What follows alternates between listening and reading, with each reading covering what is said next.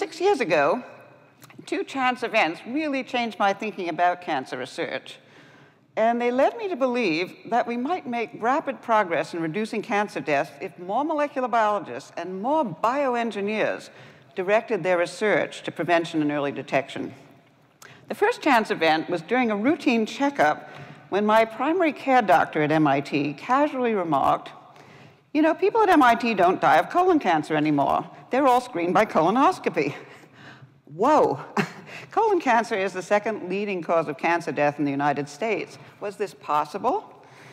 The second chance event was a lecture by an epidemiologist. In his opening remarks, he stated, as if everyone knows, 70% of cancer deaths worldwide are preventable. He meant these people need not have gotten cancer in the first place. I had no idea what he was actually talking about. Preventing people from getting cancer in the first place is called primary prevention. Preventing people from dying of cancer by detecting it early and removing it completely is called secondary prevention or simply early detection or screening. So I polled other scientists to see if they knew these absolutely amazing facts. Not one did. Finally, I located David Hunter, an epidemiologist at the Harvard School of Public Health and one of our afternoon speakers, and I asked him if it were possible that 70% of the world's cancer deaths are preventable. And David replied, Well, everyone knows that. So I thought I'd better go on sabbatical to MD Anderson's epidemiology department and find out. And everyone there did know. So it was as if cancer epidemiologists and molecular biologists were actually working on different diseases. With the help of several epidemiologists at Anderson, I looked at data for the United States, and I looked at the impact of both primary prevention and early detection. I only included methods that I knew molecular biologists already believe in, since the goal was to convince myself, so then I could convince my colleagues. So here's a slide. Uh, I think. Okay, there we are.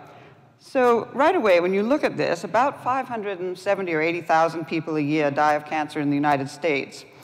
And this slide shows the number that die from each different type of cancer shown by a colored bar. And what you immediately see is that lung cancer deaths dwarf any other type.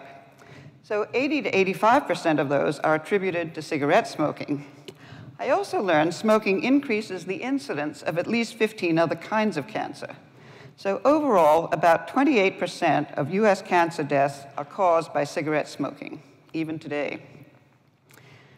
Next comes colon cancer. Death from colon cancer may be a thing of the past at MIT, but not apparently in the rest of the United States. This afternoon, David Hunter is going to explain, I think, how professional epidemiologists calculate the number of realistically preventable cancer deaths.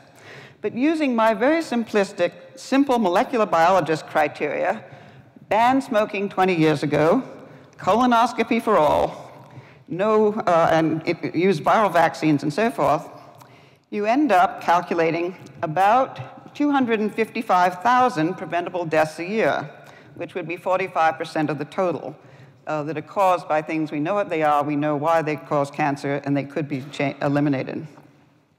The other thing I learned was the people in this room are not likely to die of these preventable cancers. We already practice cancer prevention. It turns out that levels of education and wealth explain much of the failure to more fully implement proven methods of cancer prevention. In a way, this is a Bernie Sanders problem.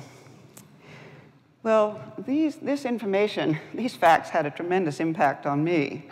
And not just because we learned how hard it is to cure cancer and prevention is so powerful, but really more, I kept thinking, if only more of our molecular biology and bioengineering students here at MIT worked on prevention and early detection, they could improve existing methods, perhaps, or develop entirely new approaches. So today, Ed Scolnick is going to talk shortly about the potential for early detection research and I'm just going to close with a few comments about primary prevention.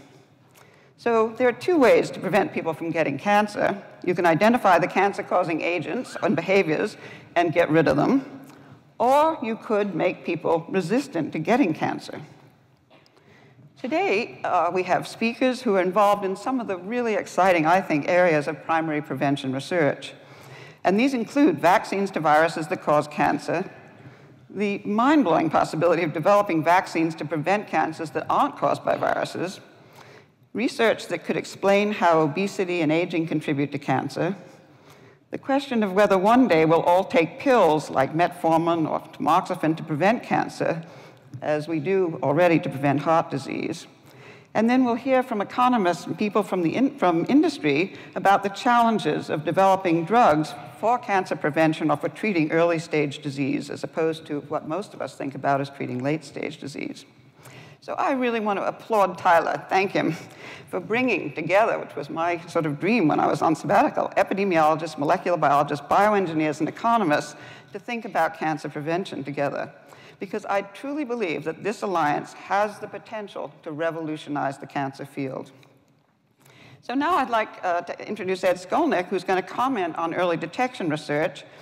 And as many of you know, Ed is chief scientist at the Stanley Center for Psychiatric Research at the Broad, he was formerly the head of all research at Merck, and before that, he discovered the RAS oncogenes and their function. Interestingly, in collaboration with another of our speakers who's here today, Doug Lowy. So, thank you.